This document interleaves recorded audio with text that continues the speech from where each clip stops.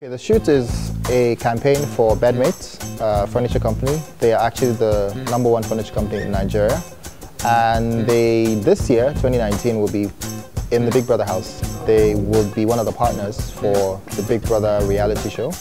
And in order to have very good visibility on the show, they decided to come up with, well, the agency decided to come up with the, the concept for the TVC so they can have, you know, slots and have more brand visibility on the show, aside from the fact that their furniture will be on the show and they probably will have tasks and other um, visibility for the brand. So the TVC brief was sent to us and um, pretty much we started on Sunday with the recce. We came here for, uh, not a technical recce, just a creative recce to see the space they have, look at, make choices of furniture, and yeah, we handed over that to the agency who went uh, to the, clients and they had their meetings back and forth. And surprisingly, yesterday evening we, we got a call around 9 p.m. saying, yeah, to go we have to shoot today.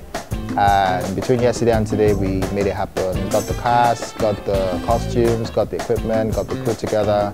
By this morning, the cast, the official casting took place at the agency. That was the first time the agency uh, executives were meeting the cast, and um, they made their selection, we did wardrobe checks, and yeah, the shoot has been great.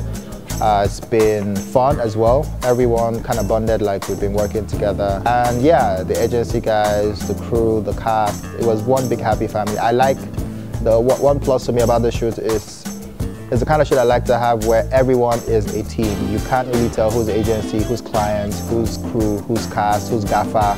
We, pretty much everybody's doing this together. You see me you know, carrying props, you see the PM carrying, you know, pieces, uh, pieces of equipment. Everyone basically put hands together to make it happen, and that's that's the kind of shit I like, where it's teamwork. It's we either win or we go home, and hopefully we'll win on this one. It'll be a successful campaign. Bedmate will continue to be the number one brand, and they will have great visibility on the Big Brother show, and it would increase their sales, which is what will make us happy, so they come back for more. Thank you.